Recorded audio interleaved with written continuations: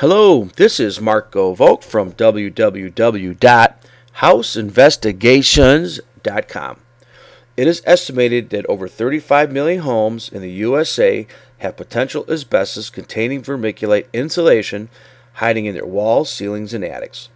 Vermiculite is lightweight, low density, and has great thermal conductivity.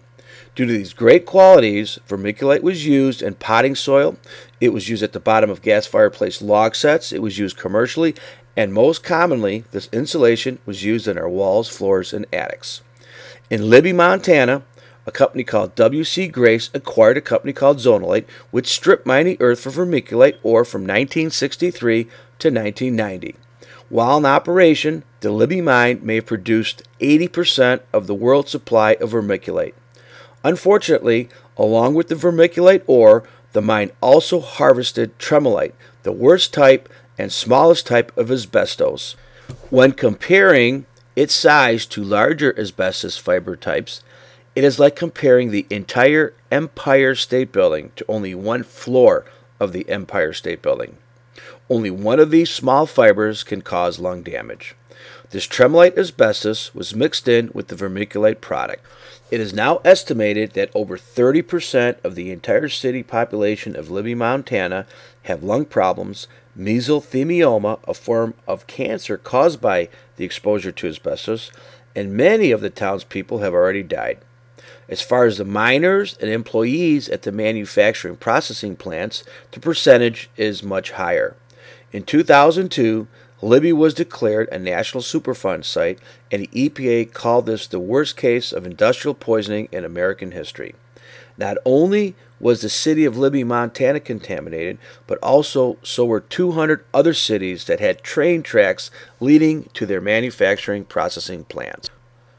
The most recent secondary exposure may very well be the entire island of Manhattan due to the 9 11. According to many studies, hundreds of tons of blown in fireproofing used in the Twin Towers contained asbestos. When the Twin Towers collapsed, they produced the world's largest man made asbestos containing dust cloud. On 9 11 06, five years after the collapse, I performed a dust study on a very elaborate condominium located at the ground zero site. During my full particle identification forensic dust testing of a back fire escape hallway stairwell, the laboratory results came back as the identical Twin Tower pulverized building materials from five years ago prior on 9 11 01. The laboratory data test results showed that asbestos, silica, glass, cellulose metals, and some carbon types all had the similar 9 11 DNA dust type. Due to all the energy crisis, starting with the architects in 1950, where architects wanted a more efficient building by adding zonolite and vermiculite to the cores of the hollow sections of the masonry block, followed by the 1973 oil crisis and brownouts, the 1979 energy crisis and Iranian revolution, the 1990 spike in oil prices due to the Gulf War, the 2001 California electricity crisis, the 2000 in three oil crises, and finally the most recent 2008 recession, homeowners all over the country continue to install additional attic insulation. Many homes now have hidden vermiculite that may exist under other insulation products. These conditions, coupled with homeowners no longer wanting to move to bigger, poor energy efficient homes, are now utilizing their attics for more house storage. Many of these homeowners have installed pull down stairs or access panels, which now lead to their vermiculite filled attics.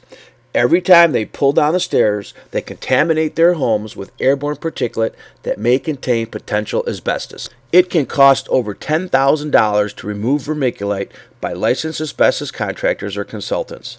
Be aware of low prices since many contractors cut corners and may create larger house dust problems. If you decide to test, well, how many tests do you take? If you only take a couple bulk tests, what about the other areas in your attic? Some of you think that if the asbestos levels in the test results are below 1%, you're okay. Wrong. There should be zero or no asbestos in the test results. Remember, you only need one of these fibers to cause health problems. It is also possible that the results come back with no asbestos. This is a good thing, and you may want to keep these results for the next home buyer. I've had cases where one 1978 home had asbestos and the other 1978 had none. It's like the game Russian roulette. I know some of you are thinking, this must be the next big scare moneymaker. Think about this 35 million homes. They have an average of three people living in the home, and most homes are sold every eight years. That comes out to about 300 million people that may have already been exposed to potential harmful asbestos containing vermiculite. This is why the lawyers are putting up billboards and doing late night commercials. These lawyers know about this major fast moving tsunami that has not hit land yet.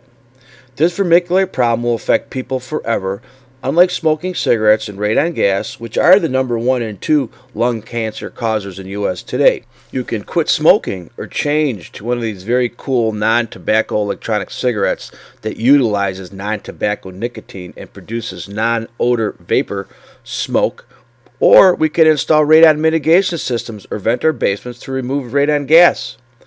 There are no simple solutions to removing vermiculite asbestos insulation, especially if it's hidden.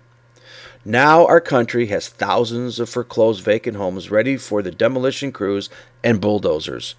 These contractors are going to kill themselves and pollute our streets, especially if the wind is blowing on demolition day.